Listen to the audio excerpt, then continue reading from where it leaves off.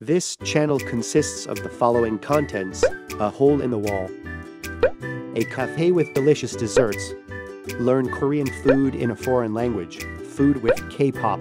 Try to include the following subjects storytelling, sincere, want to share, often seen, daily life with food. This is the FooDaily channel.